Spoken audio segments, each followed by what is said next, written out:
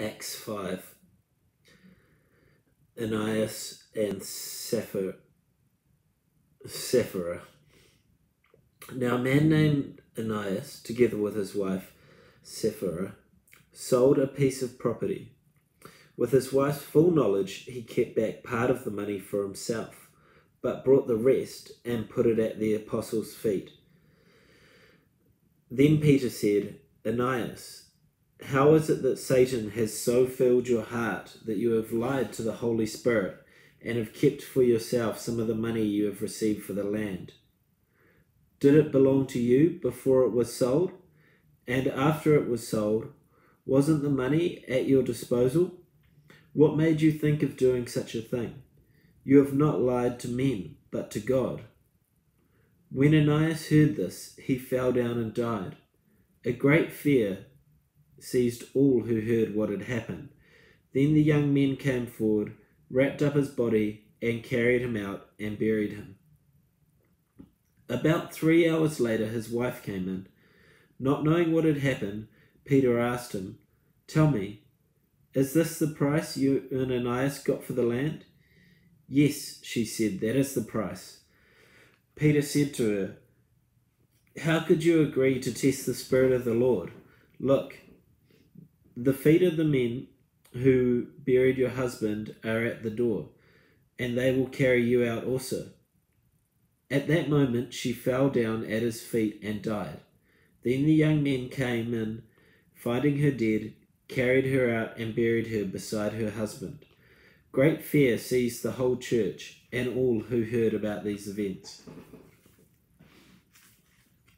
The apostles heal many. The apostles performed various uh, many miracles and signs. Uh, the apostles performed many miraculous signs and wonders among the people, and all who believed met together in Solomon's col- colonnade. No one else dared join them, even though they were highly regarded by the people. Nevertheless, more and more men and women believed in the Lord and were added to their number. As a result, people brought the sick into the streets and laid them on beds of mat so that at least Peter's shadow might fall on some of them as he passed by.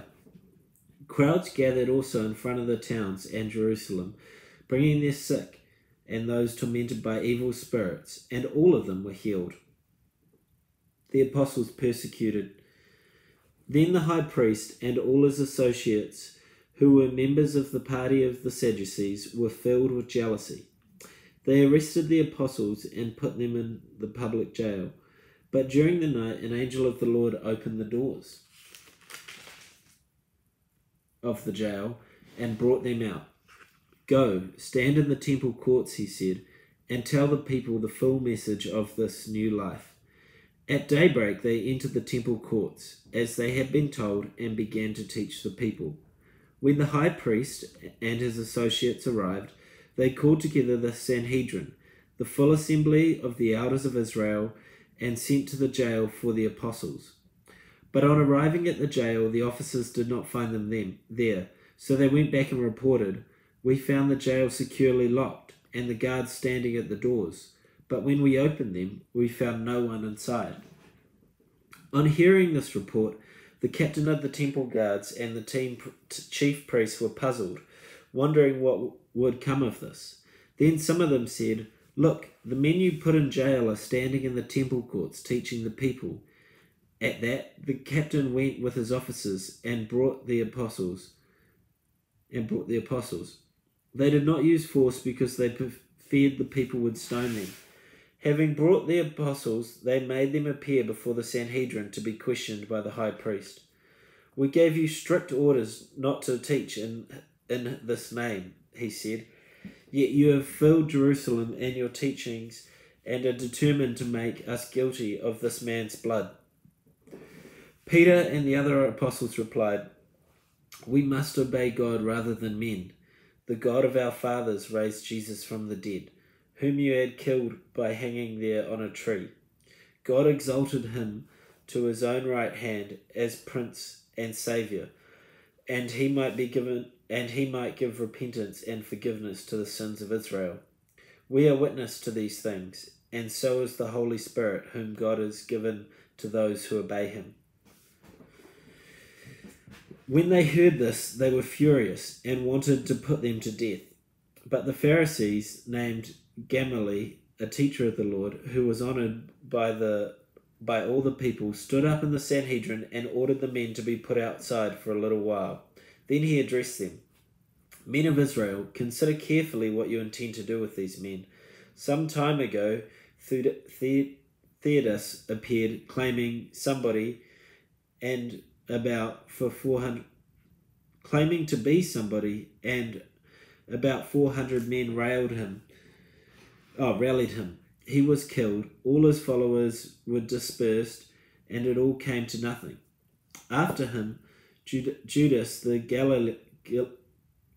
galilean appeared in the days of the census and led a band of people in revolt he too was killed and all his followers were scattered therefore in the present case, I advise you, leave these men alone, let them go, for the purpose or activity is of human origin. For if the purpose or activity is of human origin, it will fail. But if it is from God, you will not be able to stop these men. You will only find yourself fighting against God. His speech persuaded them.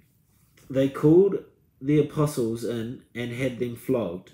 Then they ordered them not to speak in the name of Jesus and let them go. The apostles left the Sanhedrin rejoicing because they had been counted worthy of suffering and disgrace for the name. Day after day in the temple courts and the house of the ha- from house to house they never stopped teaching and proclaiming the good news that is the Jesus that Jesus is the Christ.